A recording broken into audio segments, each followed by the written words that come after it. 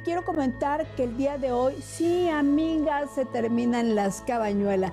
Y mañana tenemos un día mágico porque es nuestro primer viernes 13, sí, del año. Y también, bueno, ya la siguiente semana, el día 18 de enero, por completo ya se va Mercurio retrógrado y ahora sí ya podemos seguir avanzando en esta energía. ¿Qué es lo que vamos a hacer hoy? Bueno, quiero iniciar primero con este ritual del viernes 13. Vamos a ocupar Amiga, de pronto hacemos juguito de naranja, nos comemos una naranja y no sabemos qué hacer.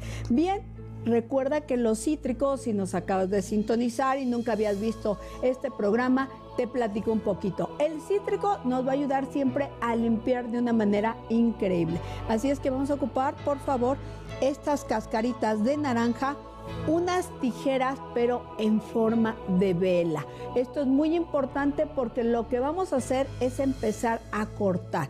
¿De qué color hoy te las estoy pidiendo? Bueno, de color amarillo, que es uno de los colores que se van a estar manifestando a través de este año. De igual manera, te voy a pedir de favor que tú puedes bajar el arcano 13. Si así le pones arcano 13 y lo vas a bajar y lo vas a imprimir. ¿Por qué no te lo quiero yo dar hoy? Porque finalmente yo quiero que tú conectes con esa energía, que hagas este match a través de él y diga, mm, hay diferentes, este es como el que me gusta, porque el arcano 13 nos representa el renacimiento, que es lo que yo quiero que tú hagas.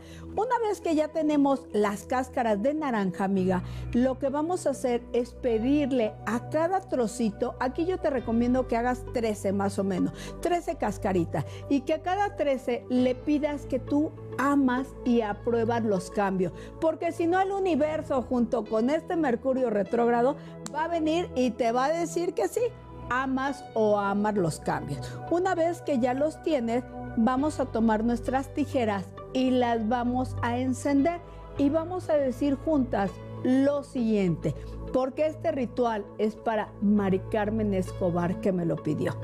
Yo, tu nombre y apellido es muy importante me abro a la posibilidad de transformar mi vida.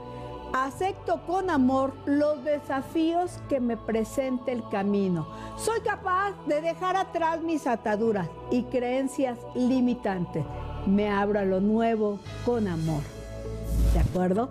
Esto lo vas a decir y vas a ver cómo poco a poco empezamos a quitar los desapegos y en este viernes, que mañana va a ser el viernes 13, vas a ver todo cómo con amor empiezas tú a poder decirle adiós, bye bye, flu flu, aquello que a ti no te permite avanzar.